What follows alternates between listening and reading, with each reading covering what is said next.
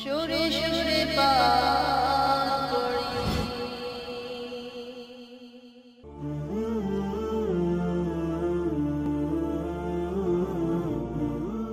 أعوذ بالله من الشيطان الرجيم بسم الله الرحمن الرحيم দেশটা নয়তো কারও বাপের ভিটা। করবে মন চাহিলে যখন যেটা। দেশটা নয়তো কারও বাপের ভিটা। করবে মন চাহিলে যখন যেটা। দেশটা নয়তো কারও বাপের ভিটা। করবে মন চাহিলে যখন যেটা। দেশটা লক্ষ মায়ের ইজ্জতের দামে কেনা। মাটিতে মিশে আসে লাখ শহীদের দেশটা লক্ষ মায়ের ইজ্জতের দামে কেনা। মাটিতে মিশে আসে লাখ শহীদের রক্ত কণা।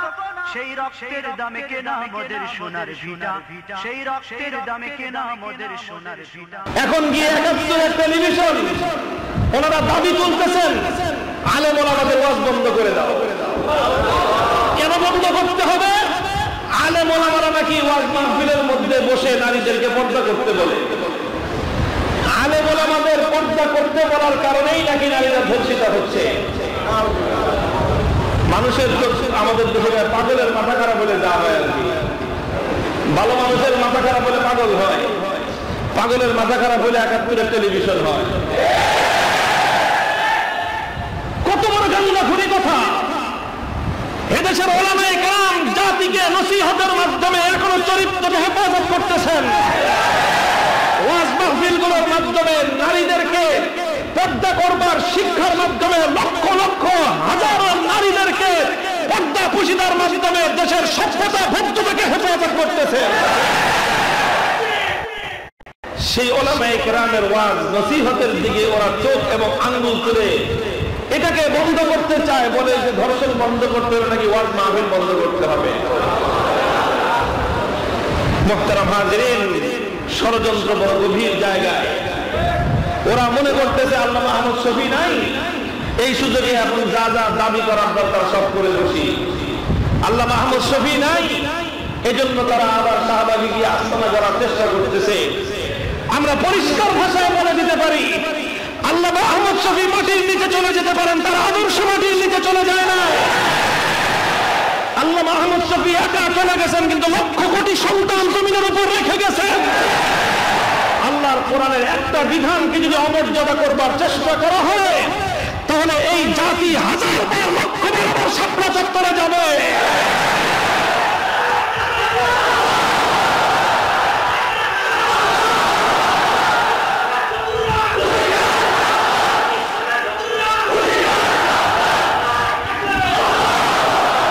আমাদের কথাটা পরিষ্কার, আমি আবারও বলছি, দোষ শুধু নারীর একা, তা পশ্চিমকালে নয়।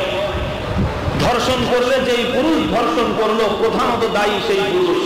অবশ্যই সন্দেহের কোনো অবকাশ নাই। পুরুষরা যেমন চরিত্র হেফাজত করবে, নারীরাও তাদের চরিত্রকে হেফাজত করবে। পুরুষ যেমন পরনারীর দিকে আকৃষ্ট হবে না, নারীও পর পুরুষের দিকে আকৃষ্ট হবে না। পুরুষ যেমন পর নারীর সঙ্গে কোনো রিলেশন গড়ে তুলবে না, নারীও কোনো পর পুরুষের সঙ্গে রিলেশন গড়ে তুলবে না। সুতরাং সমাজের মধ্যে বয়ফ্রেন্ড আর গার্লফ্রেন্ড নামক যেই অসভ্যতা, যেই মূর্খতা, যেই চরিত্রহীনতা আজকে আমাদের সমাজের মধ্যে গড়ে উঠেছে, এটা কোশ্চেন কেন আধুনিকতা হতে পারে না? এটা জাহিলি যুগের বর্বরতা।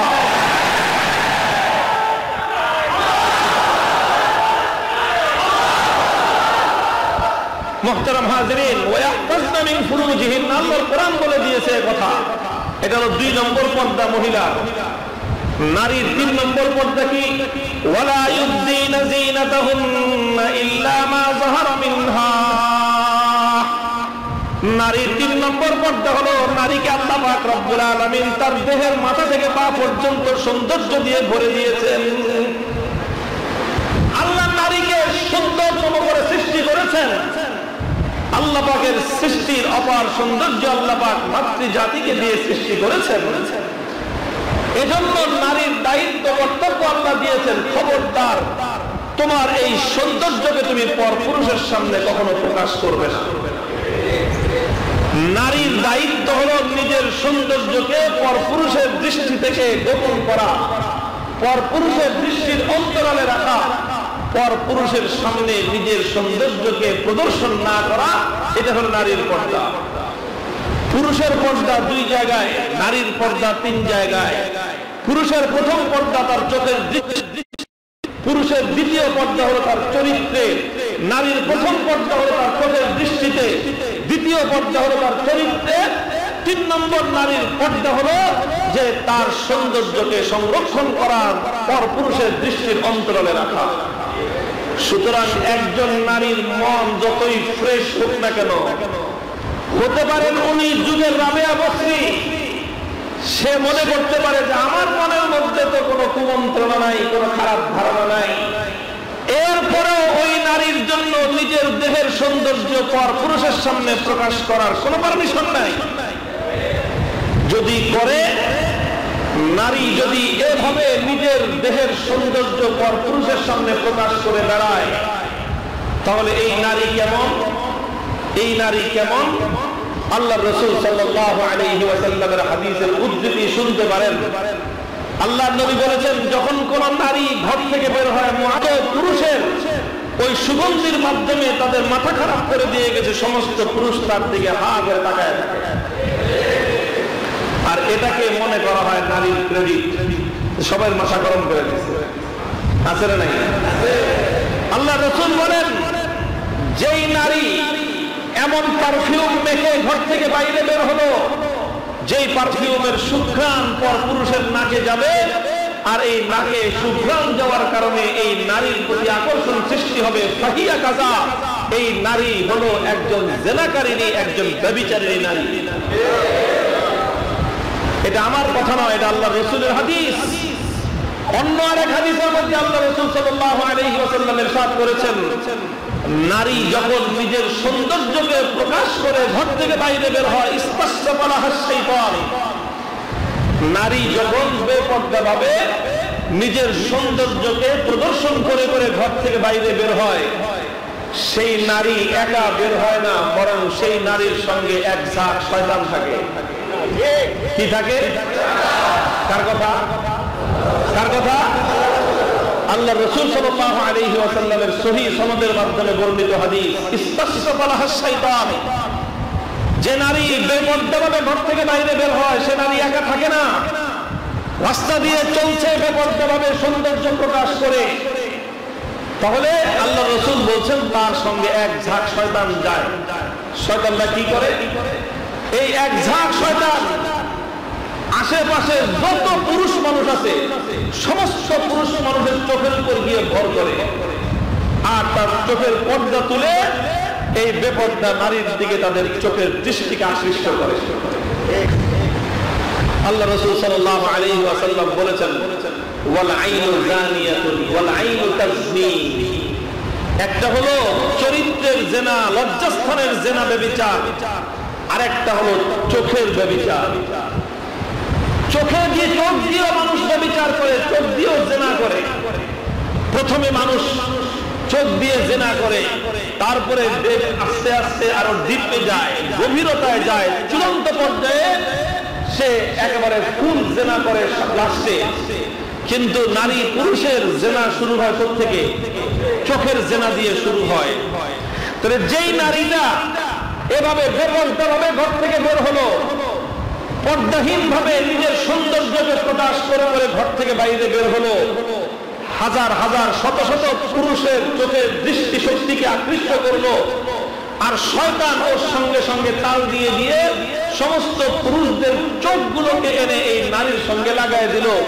যতদূর পর্যন্ত এই রমণী হেঁটে যায়, ততদূর পর্যন্ত ওই সমস্ত পুরুষরা হা করে তাকায় থাকে। এই সবগুলো পুরুষ তারা তাদের চোখের জিনা করতেছে, আর এই সবগুলো পুরুষের সঙ্গে একা ওই নারী জেনার ব্যবচার করতেছে। তাহলে দেখেন, আমরা তো এই কথা বলি না যে এই সকল অশ্লীলতা, জেনা ব্যবচার, শুধু নারী দায়ী, মহিলাই দায়ী, এই কথা অবশ্যই বলি না। অবশ্যই কথা বলতে হবে জেনা ব্যবচার ধর্ষণের জন্য নারীর যেমন দোষ আছে, পুরুষেরও দোষ আছে। কথা বলেন? আল্লাহ তো প্রথমে পুরুষকে বলছে, কি করো? চোখের সাকার নামায় রাখো। চোখের উপরে শাটার দিয়ে দিছি আল্লাহ। এই শাটার কি করো? নামায় রাখো। রাস্তা চলবা, নিচের দিকে তাকায়। রাস্তা চলবা, নিচের দিকে তাকায়। নিরাপদে বাড়িতে যেতে পারবা। কপালে চোখ তুলে তাকাইবা উষ্টা খায় পরে নিজেও বাংলা হাত ভাঙবি আরেকজনের মাথা ভাঙবি চোখের সাঁতার নিচে নামায় চলো। তাহলে দায়িত্ব কি আল্লাহ পাক শুধু নারীকে দিয়েছেন না পুরুষকেও দিয়েছেন? নারীকে আগে দিয়েছেন না পুরুষকে আগে দিয়েছেন? পুরুষকে আল্লাহ পাক আগে নির্দেশ এবং অর্ডার দিয়েছেন। চোখের শাটার নামায় রাখো। কাজেই ইসলাম প্রথমে পুরুষকেই বলেছে। ধর্ষণ, জেনা, ব্যবিচারের জন্য দায়ী শুধু নারী নয়, পুরুষও দায়ী। তবে প্রশ্ন হলো, দায়টা বেশি কার? হিসাব করেন ছোট্ট করেই হিসাবই করেন না। একজন বেপর্দা নারী যখন ঘর থেকে বের হয়ে এক মাইল পথ চলল, আধা মাইল পথ চলল, পনেরো বিশ কদম পথ চলল, সে তার সৌন্দর্যের মাধ্যমে তার দৈহিক গঠন এবং তার দৈহিক কামনীয়, মোহনীয় অঙ্গ প্রত্যঙ্গের ভঙ্গিতে শত শত পুরুষের দৃষ্টি আকৃষ্ট করল। আল্লাহ নবীর সহি হাদিসের ভাষ্য অনুযায়ী যতগুলি পুরুষ চোখ তুলে বেগানা নারীর দিকে তাকালো, সবগুলো পুরুষের চোখের জিনা হলো এই নারীর সাথে। এখন বলেন, একজন মহিলা পথ দিয়ে হেঁটে গেল, এক হাজার পুরুষ তাকে দেখল, প্রত্যেকটা পুরুষ জেনা করল একজন নারীর সাথে, আর একজন নারী জেনা করল এক হাজার পুরুষের সাথে।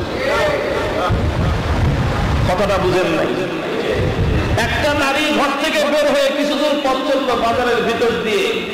এক হাজার পুরুষের অবৈধ হারাম দৃষ্টি নিজের দিকে সে আকৃষ্ট করল। তো হারাম ভাবে যখন পর পুরুষ বেগানো নারীর দিকে চোখ তুলে তাকালো, নবীর হাদিস অনুযায়ী এটা একটা চোখের জিনা হলো। তো এই জিনার মধ্যে এক একজন পুরুষ কয়জন নারীর সঙ্গে জিনা করল? কয়জন? একজন পুরুষ, একজন নারীর সঙ্গে জেনা করল। পুরুষের জেনা হলো এক নারীর সাথে, আর একজন নারী জেনা করল এক হাজার পুরুষের সাথে। তাহলে বলেন যে এখানে অপরাধটা পুরুষেরও আছে, নারীরও আছে, কিন্তু অপরাধ বেশি এই কথাটাই ইসলাম বোঝাবার চেষ্টা করেছেন শাইখুল ইসলাম আল্লামা আহমদ শফি, জীবনটা ভর চিৎকার করে গেছেন এই কথার জন্য। বুঝিয়েছিলেন এই নারীর ইজ্জতের নিরাপত্তা কায়েম করো।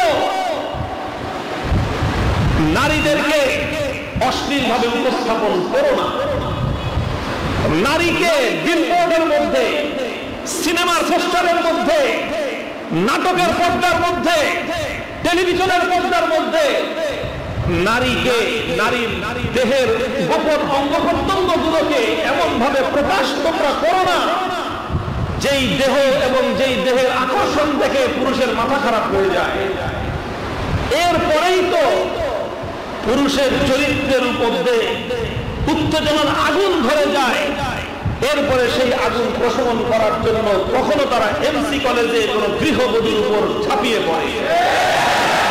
ওই পুরুষের যখন চরিত্রের মধ্যে তার উত্তেজনার আগুন জ্বলে গেল, তখনই সে যে কোনো নারীকে ধর্ষণ করে। এই জন্য ইসলাম প্রথমে নারী আর পুরুষকে নির্দেশ দিয়েছিল। পুরুষকে বলেছিল দুই পর্দা কর। দুইটা পর্দা কর। চোখ অবনমিত চরিত্রকে হেফাজত কর।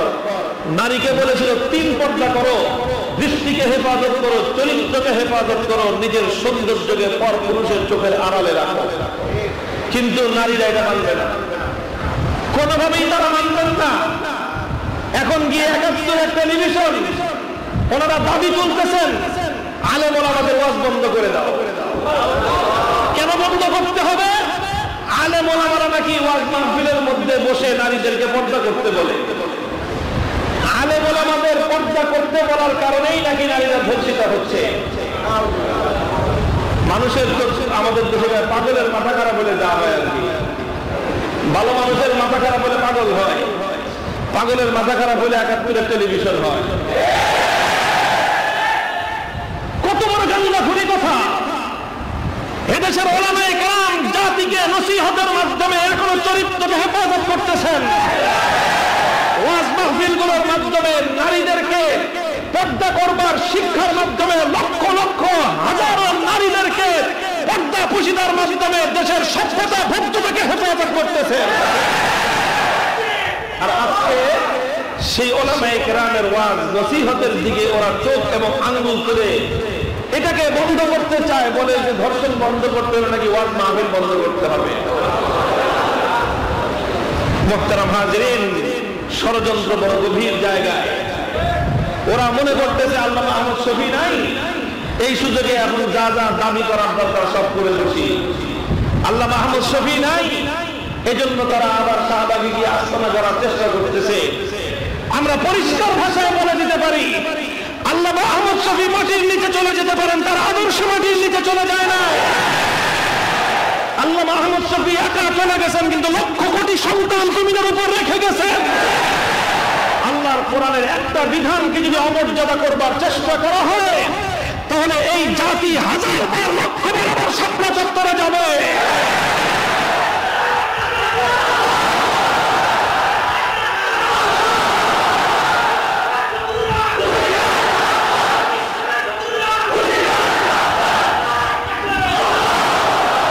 আমাদের কথাটা পরিষ্কার, আমি আবারও বলছি, দোষ শুধু নারীর একা, তা পশ্চিমকালে নয়।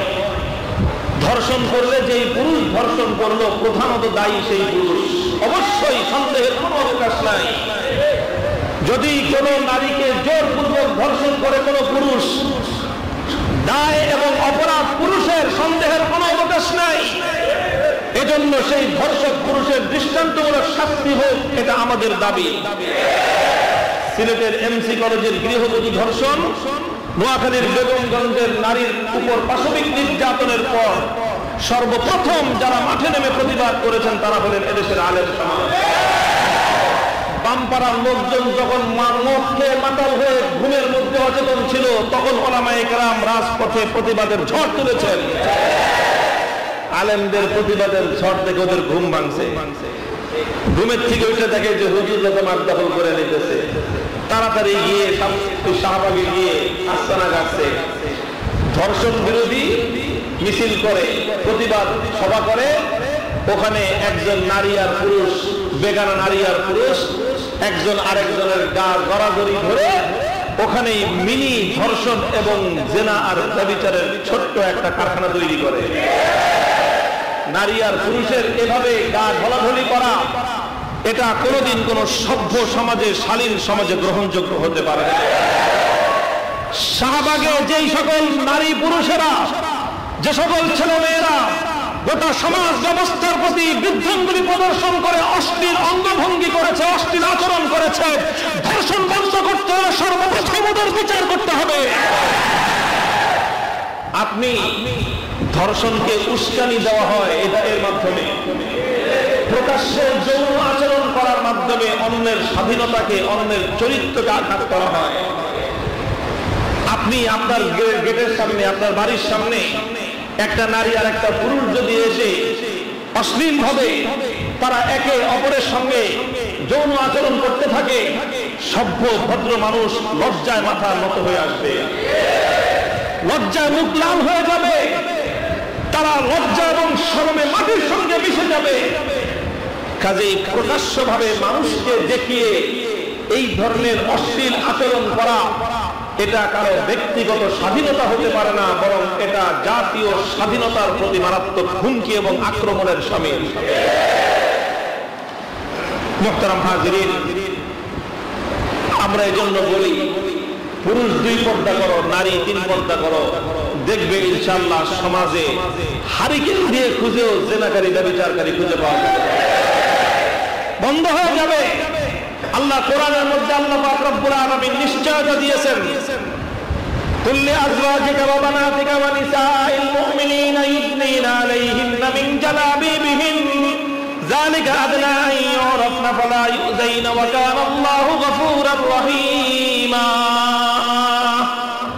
আল্লাহ বলেন হে নবী মুমিন নারীদেরকে বলে দিন ওরা যেন পর্দা করে ঘরের বাইরে বের হয় পর্দা করে ঠিক মতো ঘরের বাইরে বের হলে কি হবে ফালা ইউজাইন আদনা ইউরাফনা ফালা ইউজাইন এতে রাস্তাঘাটে নারী আর ইফটিজিং এর শিকার হবে না কোরআনের কথা পর্দা করো ইফতিজিং হবে না পর্দা করো, অশ্লীল যুবক, বেহায়া, লম্পট যুবকরা তোমাদেরকে দেখে শীষ বাজাবে না। পর্দা করো, অশ্লীল যুবকদের, লাম্পটদের হাত থেকে তোমার নিরাপত্তা হবে। আমরা যখন এভাবে নারী চরিত্রকে হেফাজত করবার জন্য, নারীর শ্লীলতা এবং তার মর্যাদাকে অক্ষুণ্ণ রাখার জন্য পর্দার প্রতি নারীদেরকে উদ্বুদ্ধ করি, তখন একদল মানুষ আমাদের বিরুদ্ধাচারণ করে, আমাদেরকে বলে যে দোষ নারীর পোশাকের নয়, দোষ পুরুষের চরিত্রের। আমরা বলি যে হ্যাঁ দোষ তো অবশ্যই পুরুষের চরিত্রে সন্দেহের কোনো অবকাশ নাই। তবে সেই পুরুষের দোষের চরিত্রের দোষকে উস্কানি দেওয়ার জন্য নারীরও দোষ কম নয়। পুরুষের চরিত্রের দোষ আর সেই চরিত্রের দোষকে উস্কানি দেওয়ার জন্য নারীরাও দায়ী। এজন্য নারী যদি তার সৌন্দর্যকে আল্লাহর হুকুমের আওতায় রেখে গোপন করে চলত, তাহলে সমাজে ধর্ষণ, জেনা, ব্যবচার নিরানব্বই পার্সেন্ট কমে যেত। হয়তো এক, দুইটা, কিছু মানুষ তো আছে যারা চূড়ান্ত সীমা লঙ্ঘনকারী, সেগুলোই শুধু ঘটত জেনা, ব্যবচার, ধর্ষণ লাম্পট্য নিরানব্বই পার্সেন্ট কমে যেত। যদি নারী আর পুরুষ আল্লাহ দেওয়া পর্দার এই বিধানকে রক্ষা করে চলত অনেকে প্রশ্ন করে যে নারীর পর্দাই পর্দা না করা, পর্দাহীনতাকে আপনারা কেন দায়ী করেন? পর্দাহীনতা যদি ধর্ষণের জন্য দায়ী হতো, তাহলে সমাজে তো বোরকাওয়ালি মেয়েরা ধর্ষণ হচ্ছে। ও তো পর্দা করতেছে অর্ধষ্টা কি তাহলে বোঝা গেল যে পর্দার মাধ্যমে নারীর ধর্ষণ রোখা যাবে না। প্রশ্ন। এমনকি সমাজের মধ্যে ছোট্ট শিশু পাঁচ বছরের, সাত বছরের শিশুরাও ধর্ষিত হয়েছে। তো পাঁচ বছর আর সাত বছরের শিশুর জন্য কি পর্দা আছে? প্রশ্ন করবে তারা, প্রশ্ন করে, যদি পর্দা না করাই যদি ধর্ষণের জন্য দায়ী হয়, তাহলে সাত বছরের, পাঁচ বছরের শিশু ধর্ষিত হলো কেন? সেও কি পর্দা করবে? প্রশ্ন তো সুন্দর। প্রশ্ন যখন সুন্দর, জবাব ইনশাল্লাহ তার চেয়ে বেশি সুন্দর। দেখেন, পরিষ্কার কথা। যেই নারী পর্দা করে, সেই নারী ধর্ষণের জন্য পুরস্কারই দেয় না। যেই শিশু, এখনও শিশু, সেই শিশুর দ্বারা কোনোদিন কোন ধর্ষক, কোন লম্পট পুরুষ উত্তেজিত হয় না। উত্তেজনা থেকে সৃষ্টি হয়। এটা খুবই একটা কমন সেন্স দিয়ে বোঝার জিনিস, স্বাভাবিক একটা জিনিস। যখন যুবক, যুবকেরা ইয়াং জেনারেশন সিনেমার মধ্যে যখন উগ্র উলঙ্গপনা দেখল, সুন্দরী রমণীদের বেহায়াপনা, অশ্লীলতা আর তার দেহের সৌন্দর্যের আকর্ষণীয় অঙ্গ প্রত্যঙ্গগুলো সে দেখল।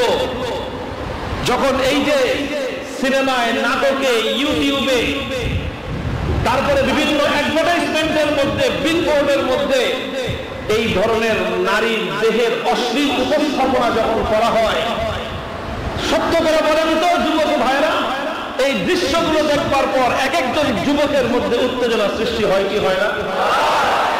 হ্যাঁ যারা চরিত্রবান, ন্যূনতম চরিত্রবান যারা, পূর্ণ চরিত্রবান হলে তো দেখতই না।